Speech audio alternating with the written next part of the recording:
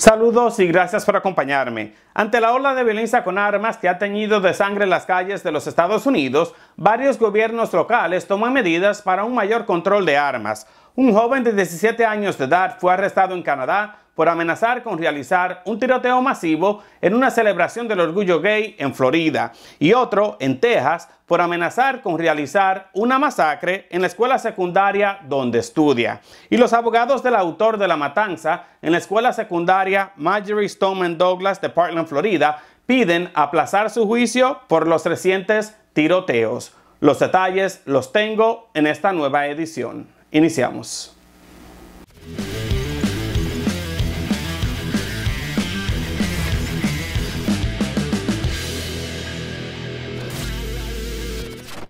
Muy buenas tardes y bienvenidos a esta nueva edición de ENI con más, un breve informativo siempre con la verdad. Antes de entrar en detalles me gustaría invitarlo a que haga clic en el icono de me gusta y a que comparta este video. También a que se suscriba a este canal en YouTube. Y una vez que lo haga, recuérdese activar el icono de la campanita para que pueda recibir las notificaciones de todos mis videos.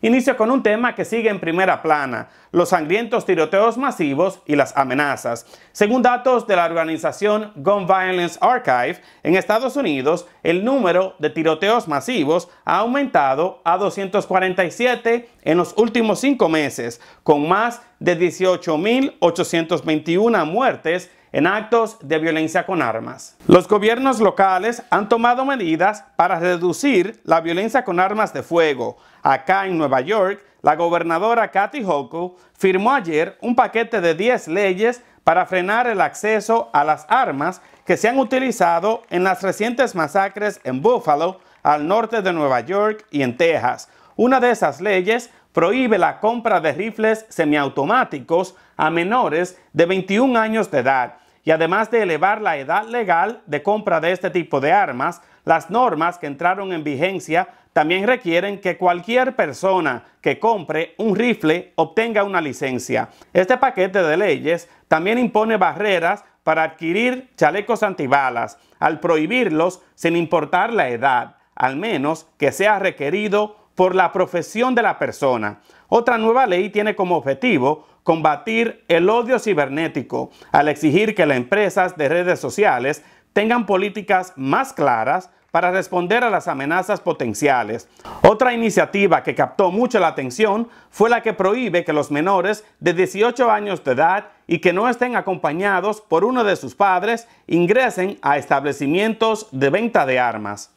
Continúo con otro caso relacionado a la violencia con armas y amenazas. Un estudiante de una preparatoria en el condado Bear, en Texas, fue arrestado por supuestamente amenazar con realizar una masacre en la escuela secundaria donde estudia.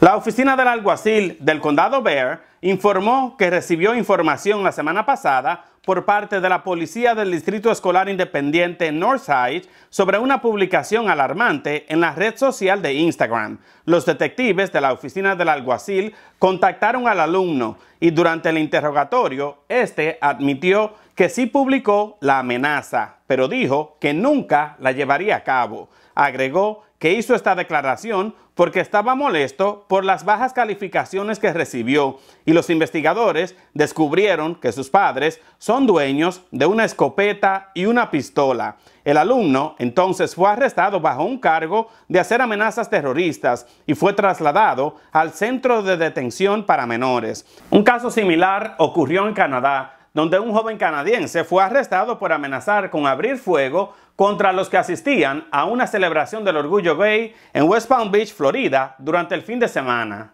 Según las autoridades, el sospechoso, de 17 años, cuyo nombre no fue revelado, posó con un arma de fuego en la plataforma de Chad O'Megley el domingo y prometió cometer un tiroteo masivo para matar a los presentes en el evento Pride on the Block. El sospechoso afirmó vivir en el área. Alguien vio el video y lo denunció a la policía de Miami, quien posteriormente notificó a las autoridades de West Palm Beach. La agencia reforzó la seguridad del evento con una unidad SWAT y agentes encubiertos mientras iniciaba una investigación más amplia sobre el sospechoso. Con la ayuda del FBI, del Servicio de Policía de Toronto y de la Policía del Estado de Nueva York, los investigadores de Florida descubrieron que el joven realmente vivía en Canadá donde fue arrestado la mañana del lunes. Las autoridades canadienses recuperaron el arma que se ve en el video. El adolescente ahora enfrenta un cargo criminal en Canadá por amenazar con un tiroteo masivo y será extraditado a Florida,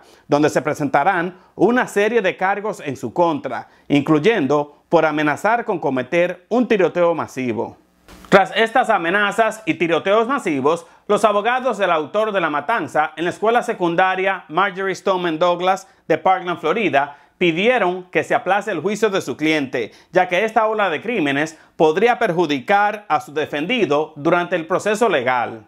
Como saben, Nicolás Cruz confesó haber matado a tiros a 17 personas, 14 alumnos y 3 empleados de su antigua escuela secundaria en 2018 y ahora se llevará a cabo un proceso judicial para la fase de sentencia en su contra.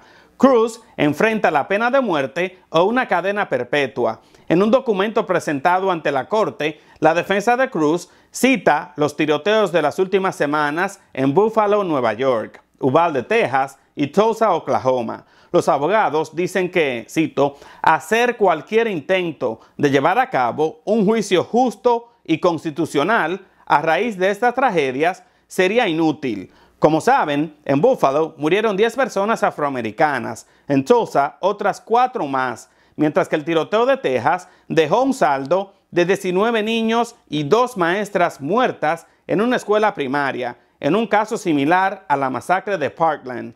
Anteriormente contacté al abogado José Pérez para que me explique un poco más toda esta situación. Acá les dejo su explicación ellos han dicho de que esos tiroteos podrían causar un efecto negativo en la impresión de los jurados, en la impresión de lo que vayan a determinar los jurados para este caso particular de Cruz. Lo que significa es que van a ser básicamente, van a tener prejuicio en el caso de Cruz, en la sentencia de Cruz, en la revisión de, evidencia de Cruz, de, por culpa de todas estas otras cosas que están pasando externas en el país y no particularmente en su caso, por supuesto. También básicamente están tratando de salirse del caso, hicieron una moción también que también fue negada, la, la, la moción que hicieron ellos para tratar de suspender el caso basado en los otros tiroteos que están pasando a nivel nacional fue negada. Y además de eso, también trataron de retirarse del caso porque aparentemente uno de los abogados estaba enfermo, etcétera, etcétera. Yo lo que creo que es estrategia simplemente para tratar de retrasar el juicio un poco más por todo esto también que está pasando en los diferentes eh, partes de, las, de, los Estados Unidos con todos estos tiroteos que están pasando y estas locuras que están pasando día a día, ¿no? Y eso es básicamente lo que están tratando de hacer. Yo creo que legalmente están tratando de utilizar una estrategia que le va a funcionar a su cliente en el sentido de que no va a haber tanto prejuicio en contra de él por razones externas a las que puede haber tenido en su caso directamente Cruz y, la, la matanza que él causó en Parkland, Florida. Muchísimas gracias al licenciado Pérez por esa explicación. Y bueno, pues en cuanto al caso de Nicolás Cruz, para la condena de pena de muerte que la Fiscalía solicita, se necesitan los 12 votos del jurado. En caso contrario, Nicolás Cruz recibiría una pena máxima de cadena perpetua. Simplemente tendría que pasar el resto de su vida en una prisión. Acá en Nicomás estaré dándole seguimiento a este importante tema. De esta manera termino esta edición, agradeciéndole su tiempo y su confianza, invitándolo a que me siga en todas las redes sociales, Facebook, Instagram, Twitter, también a que se suscriba a este canal en YouTube. Y una vez que lo haga, recuérdese activar el icono de la campanita para que pueda recibir las notificaciones de todos mis videos y estar al tanto de temas importantes para nuestra comunidad. Nos vemos en la próxima edición de Nicomas.